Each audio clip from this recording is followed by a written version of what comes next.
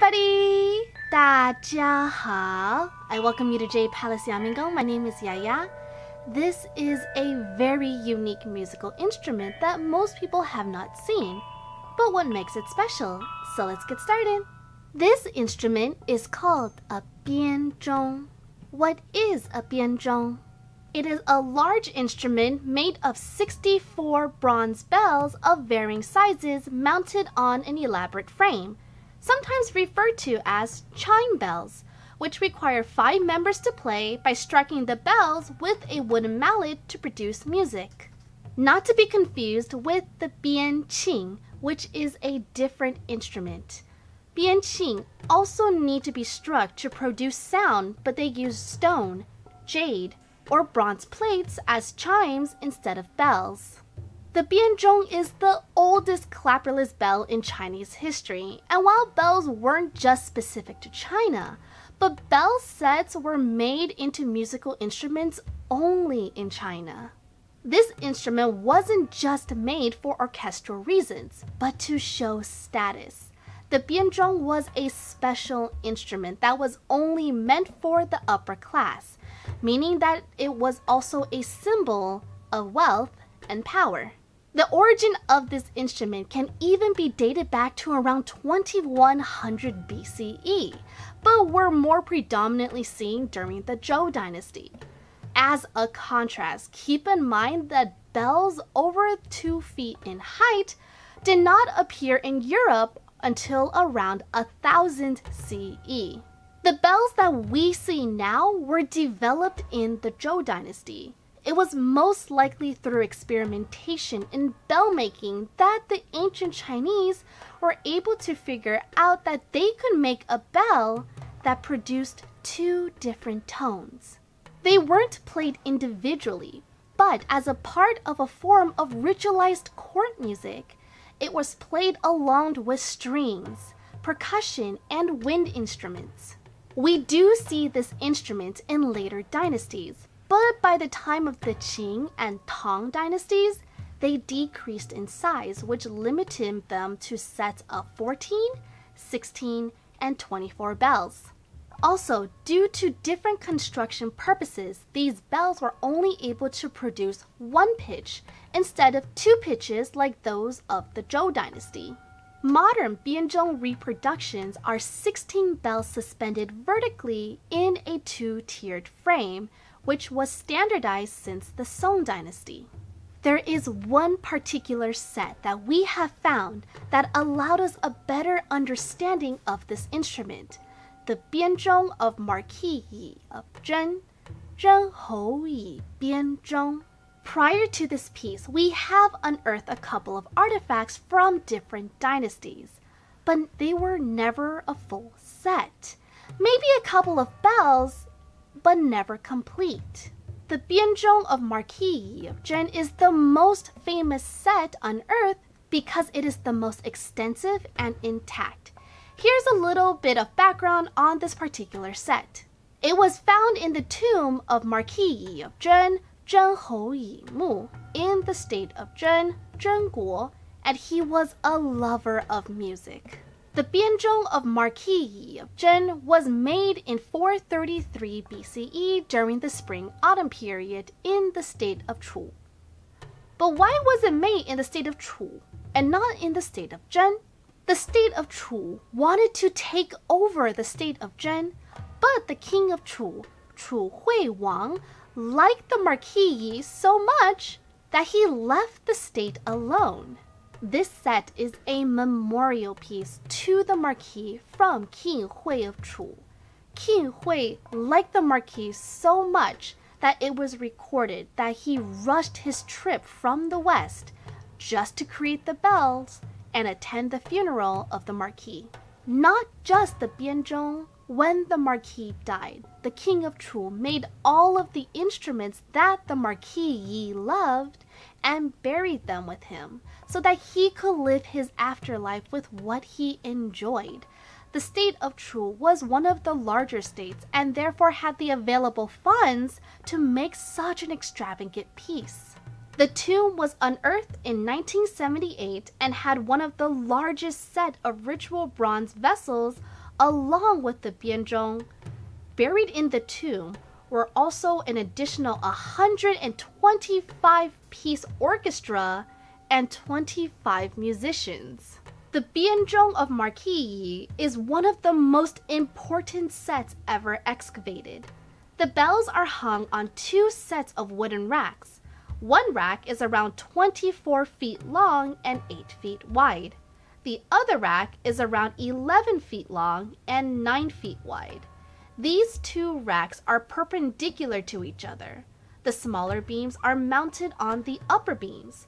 A series of six bronze human figures with raised arms separate and support the ends and intersections. There are 64 bells, which are hung on three levels and are divided into eight groups. On the top level are three groups of 19 bells. Middle level is three group of 19 bells, and the bottom level has two group of 12 bells. Bells range in size and weight. The largest bell is around 60 inches in height and weighs 449 pounds, with the smallest bell only 8 inches in height and weighing 5 pounds. What was so amazing was that this set is so well preserved, it is still in playable condition. In fact, it has been played three times since its excavation, the most recent being the Hong Kong reunification ceremony in 1997. This artifact is now on the list of Chinese cultural relics forbidden to be exhibited abroad meaning that this artifact cannot be borrowed or rented for exhibits and is permanently displayed at the Hubei Provincial Museum. So, what makes this particular instrument so special? Every culture has bells. So, what makes the bianzhong stand out? Different tones. What does that mean? Each bell can play two tones depending if it is struck from the front, or from the side. In addition, the tonal range of the bells are from C2 to D7. In the middle area of the tonal range, these bells can play all 12 halftones, making this the earliest instrument in the world to play all 12 halftones. The thing is, these bells were made thousands of years ago. How did the ancient people do it? Structure and metal composition of the bells played a key role in how these bells were played and sounded. That is what makes these Chinese bells so much different than the bells of Western culture. If you look at the bells, you will notice that unlike the bells you're probably used to, they are not round, but an ellipse shape, meaning that they're more oval shaped the edges of the sides are longer than the edges in the middle. There's a very important reason why these bells are not round. The sound of regular round bells lasts too long, making it harder to play any music with. The ellipse shape that the ancient Chinese have developed allows the sound to decay faster. The ellipse shape is also what allows the different tones to be played from two different directions. A specific composition of metals make the bells 12.5% tin, 2% lead, and 85.5% copper. It is the precise ratio of these metals that control the exact tone of the bell.